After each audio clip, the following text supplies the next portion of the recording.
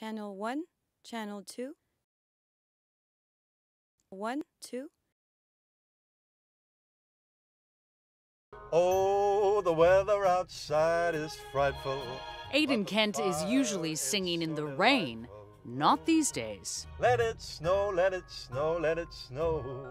Meet London's singing cab driver. The singing cabbie uh, has got to get out there and entertain and uh, make people's lives a little bit smilier. I love you. He's welcoming passengers in from the cold with his warm notes. The cruising crooner was belting out British music until about eight years ago when a passenger left some Frank Sinatra CDs in his cab. And I just got hooked. I was just hooked. I know what I want to do.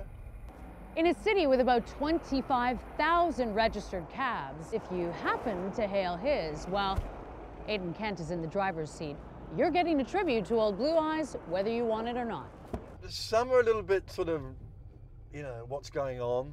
There's Kent says he had no musical training spread. growing up, so he got a singing teacher like and took three years of lessons.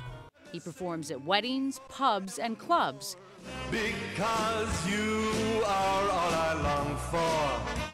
but he still gets a kick out of serenading passengers. And they tip you. And now Kent is thinking of taking his act on the road to the bright lights of Las Vegas.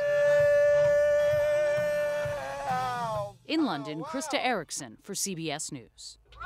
Thank you very much. My name's been Aiden Kent. I'm going to see you again real soon. Good night, everybody.